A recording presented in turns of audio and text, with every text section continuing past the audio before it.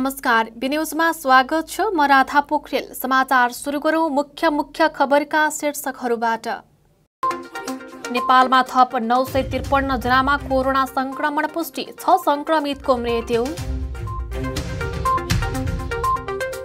चन्द्रकोट गाउँपालिकाको वार्षिक समीक्षा कार्यक्रम सम्पन्न नमुना योग्य कामहरूको चर्चा। गुल्मीमा पछिल्लो चौबिस घण्टामा सत्रजनामा कोरोना संक्रमण बाह्रजना डिस्चार्ज। र रुरु क्षेत्र गाउँपालिकाद्वारा बजार अनुगमन नियमअनुसार व्यापार व्यवसाय सञ्चालन गर्न निर्देशन।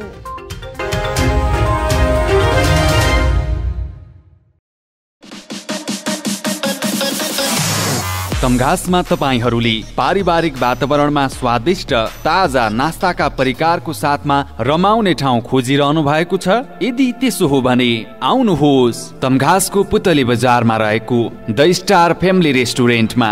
जहाँ तपाईँले पाउनुहुनेछ momo आइटममा chicken momo mutton momo paneer momo steam momo झोल momo fry momo chilli momo.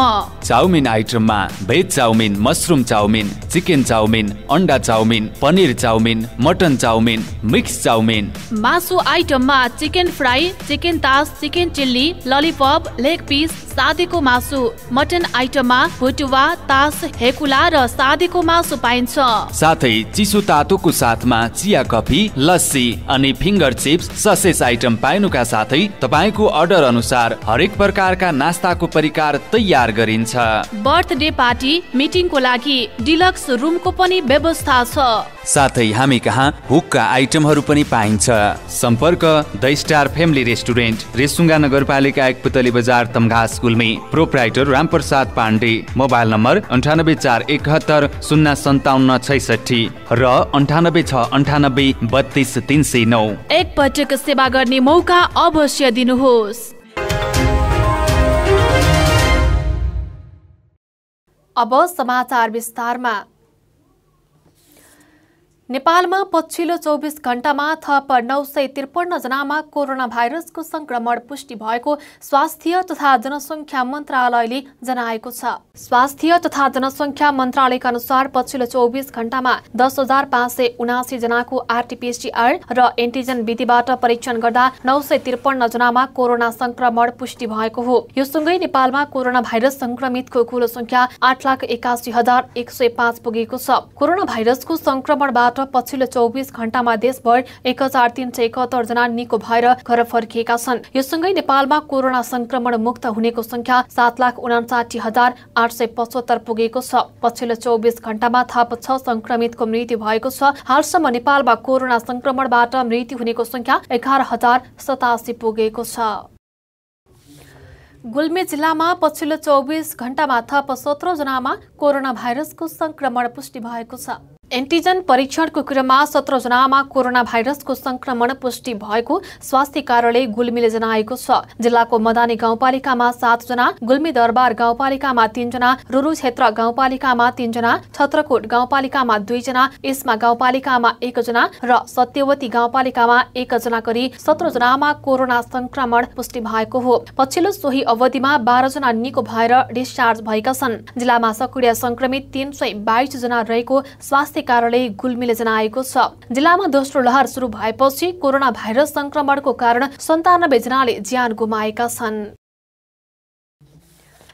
गत केही दिन यता नेपाल सरकारका पूर्व मुख्य सचिव लीलामणि पौड्याल गृह जिल्ला गुल्मीको आफ्नै जन्मथलो रुरु क्षेत्र गाउँपालिकामा नेकपा माओवादी केन्द्रका भेला सम्मेलनहरूमा प्रमुख अतिथिको रूपमा सहभागी हुँदै सो पार्टीको कार्यकर्ताहरूलाई प्रशिक्षण दिइरहनु भएको छ।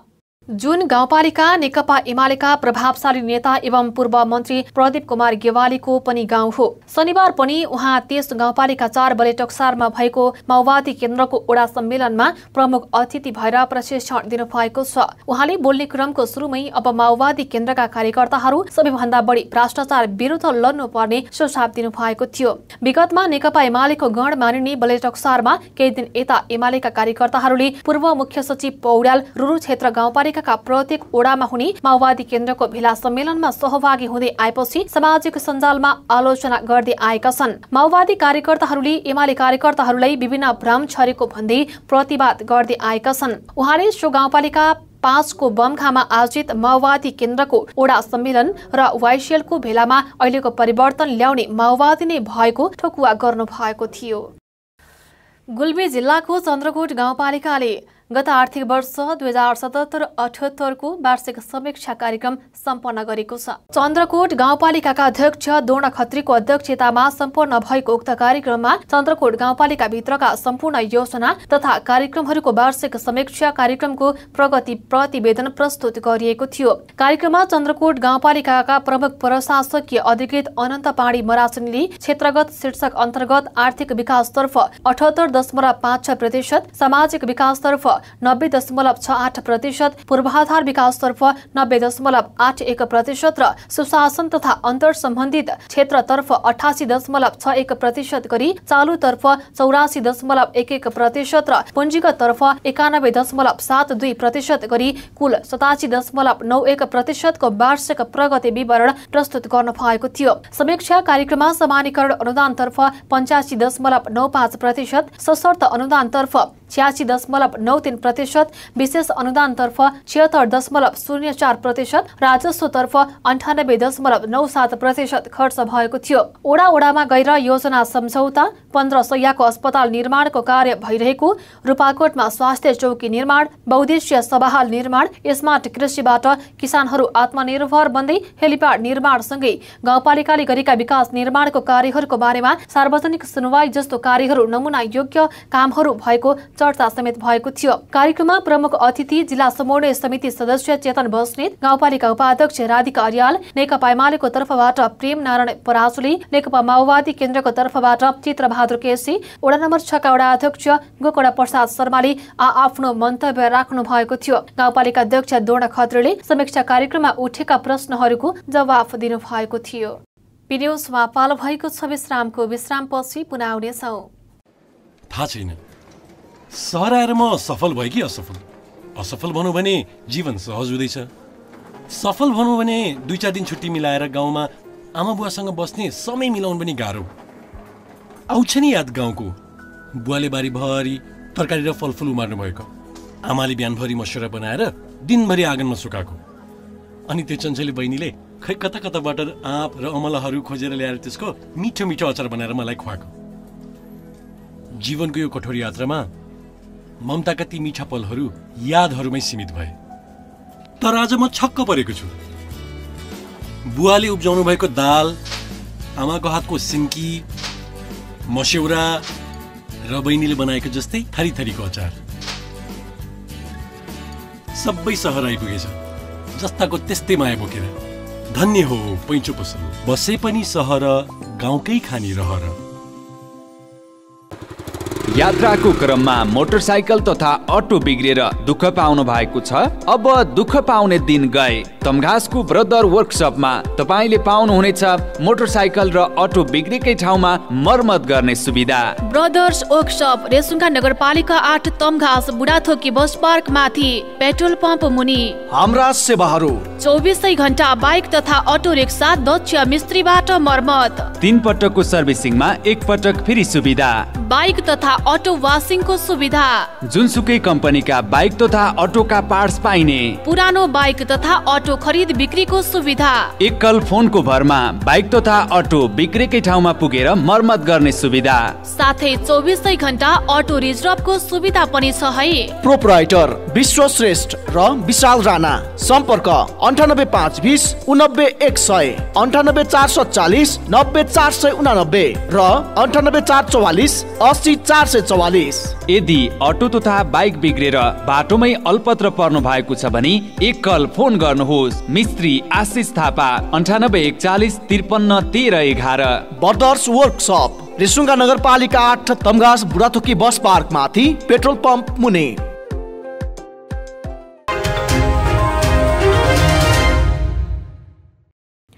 विश्रामपछि पुनः स्वागत छ अब बाँकी समाचार। गुल्मीको रुरु क्षेत्र गाउँपालिकाले बजार अनुगमन गरेको छ। लामो समयको लकडाउन पछि चाडपर्वहरू नजिकिएको समयमा बजार सुचारू भएकाले अखाद्य वस्तु बिक्री हुन सक्ने र व्यवसाय अध्यावधिकलाई प्रभावकारी बनाउन बजार अनुगमन गरिएको हो। गाउँपालिकाको रानीवास बलेटक चाड र रिडी बजार अनुगमन गरिएको थियो। अनुगमनको क्रममा उपभोग्य मिति नागेका अखाद्य वस्तु बिक्रीको लागि राखेको भेटिएको प्रयोग मिति समाप्त भएका पेन्ट लगायतका वस्तु जफत गरिएको व्यवसाय दर्ता नगरी सञ्चालन गरेको पाइएको व्यवसाय दर्ता अध्यावधिक नगरिएको एक प्रकृतिको व्यवसाय दर्ता गरी अर्को व्यवसाय सञ्चालन गरेको खाद्य वस्तुसँगै सुर्तीजन्य वस्तु र मदिरा बिक्रीको लागि राखिएको पाइएको गाउँपालिका प्रशासन अधिकृत निर्मल पोखरेलले बताउनुभयो। बयासीवटा व्यावसायिक प्रतिष्ठान अनुगमन गरिएको र नियमअनुसार व्यापार व्यवसाय सञ्चालन गर्न निर्देशन दिएको र आगामी दिनमा नियमअनुसार नगरीमा कारवाही गरिने निमित्त प्रमुख प्रशासकीय अधिकृत छत्रबहादुर अधिकारीले बताउनु भएको छ। अनुगमनमा वडाध्यक्षहरू रामलाल विक घनश्याम अर्याल शेषनारायण पौड्याल परशुराम गेवाली हरिप्रसाद गेवाली र गिरी प्रसाद सिंहजारी लेखाधिकृत मनुष्य पाण्डे लगायत कर्मचारीको टोली तोयनारायण गेवाली नेतृत्वको उद्योग वाणिज्य संघको टोली शालिग्राम थापा नेतृत्वको प्रहरी टोली घरेलु तथा साना उद्योग कार्यालय पत्रकार लगायतको सहभागिता रहेको थियो। गुल्मीको मदानी गाउँपालिकामा विभिन्न किसिमका रोगीहरूको लागि स्वास्थ्य शिविर सुरु भएको छ। असोज नौ गतेदेखि असोज एक्काइस गतेसम्म सञ्चालन हुने गरी स्वास्थ्य शिविर आयोजना गरिएको हो। नेपाल हेल्पद्वारा सञ्चालित मदानी सामुदायिक स्वास्थ्य केन्द्रले सञ्चालन गरेको निशुल्क स्वास्थ्य शिविरमा अधिक भन्दा अधिक बिरामीले लाभ लिने अपेक्षा गरिएको छ। मदानी गाउँपालिका साथै छिमेकी गाउँपालिकामा बसोबास गर्ने स्थानीय बासिन्दाहरूलाई लक्षित गर्दै मृगौला रोग विशेषज्ञ जनरल फिजिसियन र दाँत सम्बन्धी गरी निशुल्क उपचार तथा शल्यक्रियाको सुविधाहरू सो शिविरमा प्रदान हुने मदानी सामुदायिक स्वास्थ्य केन्द्र बाज कटेरीका इन्चार्ज एमलाल भूषालले जानकारी दिनुभयो। कोभिडको जोखिम कायमै रहेको हुँदा उक्त शिविरमा पुग्ने बिरामी तथा सेवाग्राहीलाई अनिवार्य मास्क साथै अन्य स्वास्थ्यको मापदण्ड लागू गर्न उहाँले आग्रह गर्नु भएको छ। स्थानीयहरूको मागलाई मध्यनजर गर्दै सेवा तथा सुविधा प्रदान गर्न यस स्वास्थ्य केन्द्रले विभिन्न समयमा विभिन्न फरक फरक खालको स्वास्थ्य शिविरहरू सञ्चालन गर्दै आएको छ। जर्मनी विशेषज्ञ डाक्टरहरूद्वारा सञ्चालन हुने शिविर मदानी गाउँपालिका दुई बाजकटेरी स्थित मदानी सामुदायिक स्वास्थ्य केन्द्रमा सञ्चालन हुनेछ। हामी न्युजको अन्त्यमा छौँ। बिदा हुनु पूर्व मुख्य मुख्य शीर्षकहरू पुनः एकपटक नेपालमा थप नौ सय त्रिपन्न जनामा कोरोना संक्रमण पुष्टि छ संक्रमितको मृत्यु। चन्द्रकोट गाउँपालिकाको वार्षिक समीक्षा कार्यक्रम सम्पन्न। नमुना योग्य कामहरूको चर्चा। गुल्मीमा पछिल्लो चौबिस घण्टामा सत्र जनामा कोरोना संक्रमण बाह्र जना डिस्चार्ज। र रुरु क्षेत्र गाउँपालिकाद्वारा बजार अनुगमन नियमअनुसार व्यापार व्यवसाय सञ्चालन गर्न निर्देशन।